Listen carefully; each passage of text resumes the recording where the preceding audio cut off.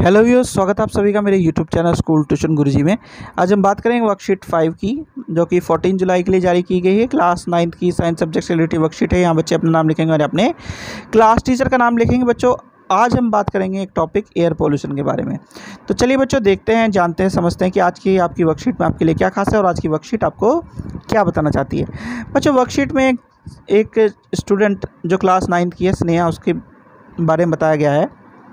कि वो और उसकी माँ बैठी हुई बातें कर रही हैं और वो देख रही हैं कि उसे फ्रेश एयर देखने को मिल रही है और क्लियर स्काई देखने को मिल रहा है लॉकडाउन पीरियड में।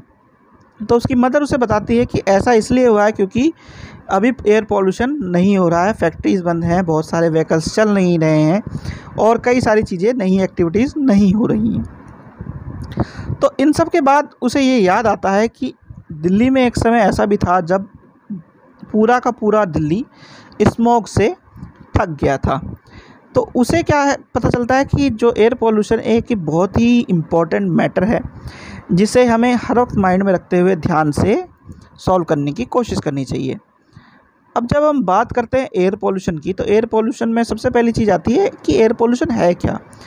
तो एयर जब कॉन्टेमिनेटेड हो जाती है अनवांटेड सब्सटेंसेस से, जो कि हार्मफुल हैं both living and non living organism के लिए तो उसे कहलाते हैं एयर पोल्यूशन और जो सब्सटेंसेस कॉन्टेमिनेट करते हैं एयर को, वो कहलाते हैं एयर पोल्यूटेंट यानी कि oxides of carbon sulphur nitrogen dust particles pollen grains यानी कि वो पार्टिकल्स जो तेल के जलने पे या फिर इधर उधर किसी डस्ट पार्टिकल के थ्रू उड़ते हैं बच्चों।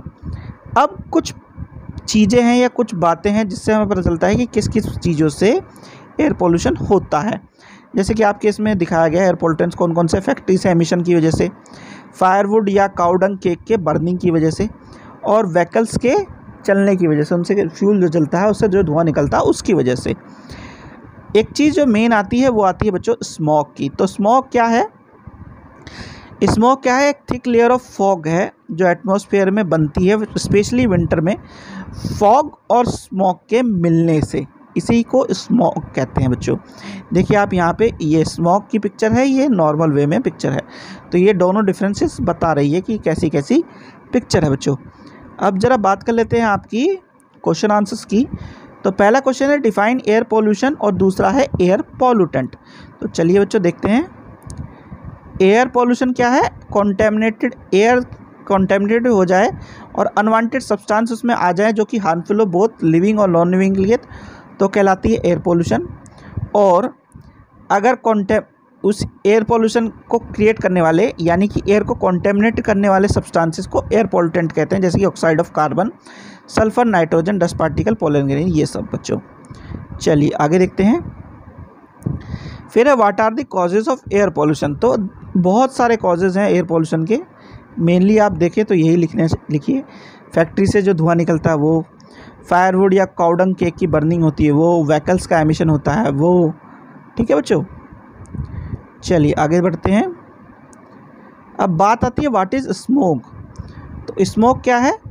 A thick fog like layer in the atmosphere specially during winters made up of fog and smoke यानी fog plus smoke is equal to smoke ठीक है बच्चों? चलिए, अगला क्वेश्चन देखते हैं, अगला क्वेश्चन है।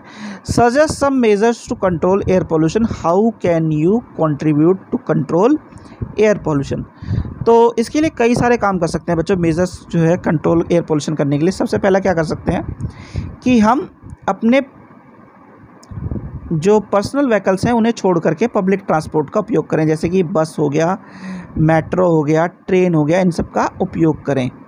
दूसरा क्या कर सकते हैं बच्चों? क्लीन और ग्रीन फ्यूल का यूज़ कर सकते हैं, जैसे कि बायोडीज़ल हो गया आपका, सीएनजी हो गया, इलेक्ट्रिक व्हीकल्स का यूज़ कर सकते हैं, इस तरह की चीज़ें कर सकते हैं। तीसरा क्या कर सकते हैं हम? तीसरा ये कर सकते हैं कि हमारे जो व्हीकल्स हैं, हमारे जो व्हीकल्स हैं, उन्हें नियमित तौर पर सर्विसिंग वगैरह करवाएँ, उनका रख रखाव अच्छी तरीके से करें तो भी एयर पोल्यूशन कम होगा। चौथा क्या कर सकते हैं बच्चों? कई सारी चीज़ें कर सकते हैं जैसे कि कार पुलिंग हो गया इस तरह की एक टेक्निक यूज़ कर सकते हैं। तो ये क्या है? कंट्रोल करेंगे मेजर्स को पॉल्यूशन को। अब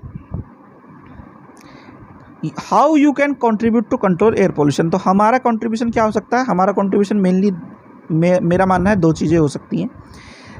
तो पहली चीज़ क्या है? कार पुलिंग वगैरह इस तरह की किसी रिसोर्स का यूज़ किया जाए। दूसरी चीज़ क्या है?